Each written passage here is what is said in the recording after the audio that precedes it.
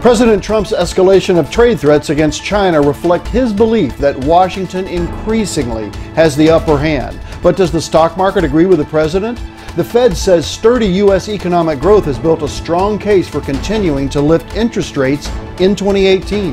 But will the falling yield curve scare away investors? Small caps set a lifetime high and look solid on the relative rotation graph.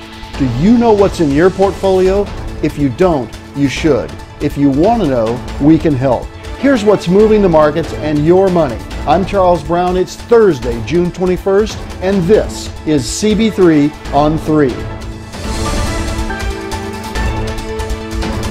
At CB3 Financial Group, we don't just manage your assets, we become one of them. In political influences, President Donald Trump's escalation of trade threats against China reflects his belief that Washington increasingly has the upper hand in this dispute, adding he is prepared to withstand pressure from U.S. businesses that might suffer from this conflict.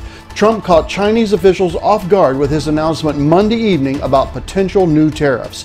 If China retaliates against U.S. trade policies, the White House said that the U.S. would apply tariffs of 10% on as much as $400 billion in Chinese imports. The bulk of these tariffs would go into effect July 6th. Here's my take on the political implications for our investments. All you need to do is look at the chart I present here to see just how huge our trade deficit is with China. It's more than $37 billion just last year, and the first four months of 2018 looks just as bad percentage wise. Folks, it's taken us 60 years and six presidents to make this mess. It's going to take a few years to gain some parity with the Chinese on trade. Now let's look at our exports. Only 8.6% of all U.S. exports are headed to China. For China, nearly 20% of all their exports are headed for the U.S. Since we are the net buyer, we, the U.S., have the upper hand in the politics of trade deficit negotiations, and President Trump knows this.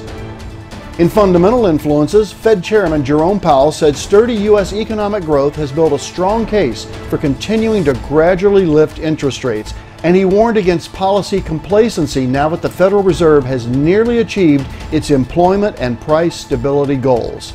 The Fed's rate setting committee unanimously agreed last week to lift the central bank's benchmark short term rate for the second time this year. And officials penciled in two, not one, more rate increases this year. Here's my take on the fundamental implications for our investments. It is the Fed's dual mandate to keep maximum employment strong and consumer prices in check. Our current U3 unemployment rate is 3.9% and is widely expected to drop to as low as 3.7% before the summer's end.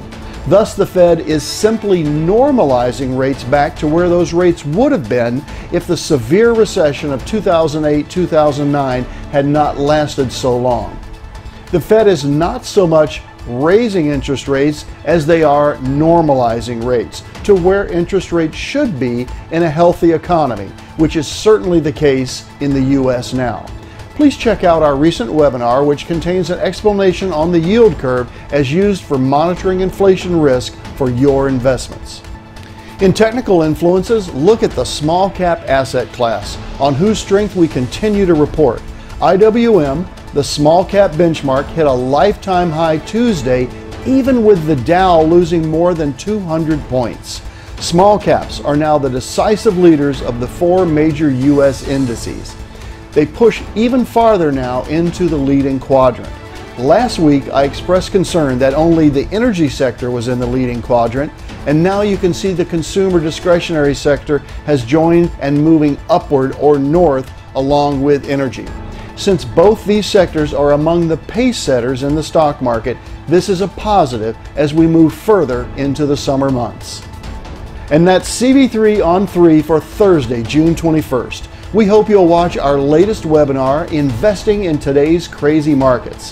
What's in your portfolio? If you don't know, you should. If you want to know, we can help. I'm Charles Brown, and at CB3 Financial Group, we don't just manage your assets, we become one of them.